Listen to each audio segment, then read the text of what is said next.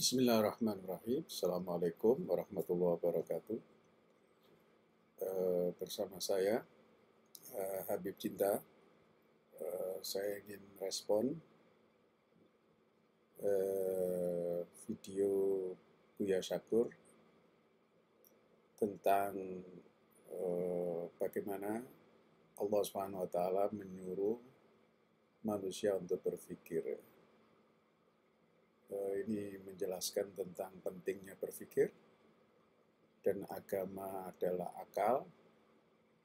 Tanpa akal, agama tidak berfungsi dengan benar ya. Coba kita lihat eh, cuplikan eh, videonya.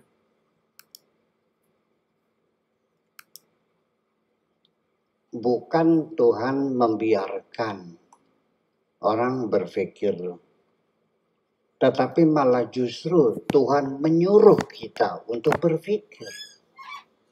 Bukan membiarkan, menyuruh kita berpikir. Ya, Tuhan menyuruh loh. Menyuruh manusia untuk berpikir. Berarti manusia yang tidak berpikir adalah manusia yang tidak taat pada Tuhan. Manusia yang melawan Tuhan. Jadi berpikir itu merupakan perintah Tuhan. Tuhan menyuruh manusia untuk berpikir. Ya, kalau mau nurut pada Tuhan ya kita mestinya harus berpikir. Al-Quran juga disuruh ditadabbur afala yatadabbaruna al-Qur'ana am ala qulubihim aqfaduha. Ya, Al-Quran memang bukan kitab atau buku logika, tapi berapa banyak ayat yang mengajak manusia untuk berpikir. Meskipun kata akal tidak ada dalam Al-Quran disebut dalam bentuk kata benda, tapi Al-Quran selalu menggunakan dalam bentuk kata kerja aktif. Takkilun, yakilun, yatafakkarun. Mereka berpikir, mereka berakal. Mereka memberdayakan akalnya. Ini memberi sebuah pesan kuat bahwa inti agama adalah berpikir. Melalui proses berpikir itu pengetahuan akan berkembang. Akan tersingkap penelitian-peneliti, akan tersingkap penemuan-penemuan, akan terjadi penelitian-penelitian. Kenapa kamu tidak memikirkan Al-Quran? Dipikirkan, bukan dibaca. Ya, berulang-ulang Tuhan menyuruhkan kita, memanggil kita, ya ulil absar. Ya, inna fi dzalika la ayatin liqaumin yatafakkarun. Alladzina yadhkuruna Allah qiyaman wa 'udan wa 'ala junubihim wa yatafakkaruna.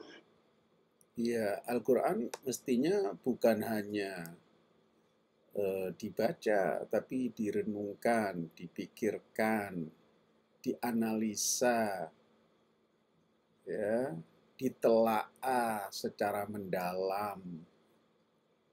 Ya, kita melakukan sebuah sair akli, perjalanan rasional terhadap Al-Quran sehingga menemukan mutiara-mutiara, butiran-butiran hikmah dalam Al-Quran. Nah ini yang jarang dilakukan oleh kebanyakan orang. Sebagian orang hanya puas membaca Al-Quran dan menganggap itu pencapaian yang luar biasa. Sebenarnya itu tidak cukup.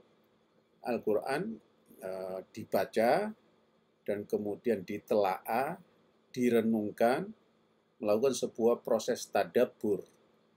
Nah, proses tadabur ini menggunakan akal. Jadi membaca Al-Quran dengan akal. Ya, ini alangkah sempurnanya seorang membaca Al-Quran, ya, memperhatikan tilawahnya, dan sekaligus melakukan sebuah proses tadabur. Ya, pemberdayaan akal, memahami ayat-ayat Al-Quran secara rasional. Nah, Allah Subhanahu wa taala mengajak bicara orang-orang yang berakal karena hanya mereka yang bisa memahami pesan Tuhan Sedangkan orang-orang yang bodoh tidak akan pernah diajak dialog oleh Tuhan. Ya Tuhan ogah berbicara dengan orang-orang yang memarkir akalnya, menonaktifkan akalnya. Tuhan hanya menyambut, hanya berdialog dengan orang-orang yang memberdayakan akalnya khalqis samawati wal ard. Berpikir bukan kebebasan, tapi perintah Tuhan kita untuk berpikir.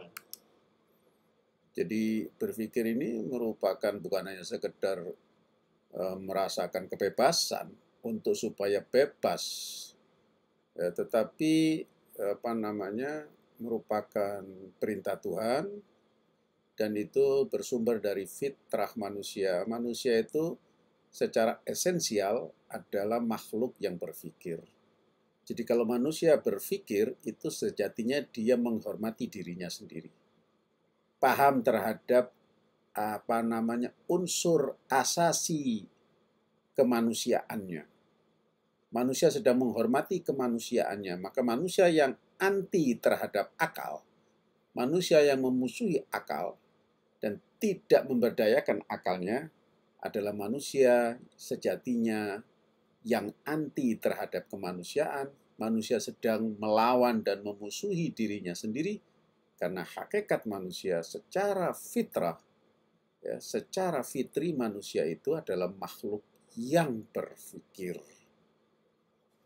Ya, mudah-mudahan apa namanya eh, apa namanya video singkat ini memberikan sebuah inspirasi bagi kita akan pentingnya berpikir dan berbahagialah mereka yang berpikir secara rasional dan mengambil tindakan berdasarkan akal sehatnya. Berpikir sebelum bertindak adalah ciri orang yang beriman. Itu saja catatan kaki dari saya atas keterangan dan kajian uh, Kiai Buya Syakur. Wassalamualaikum.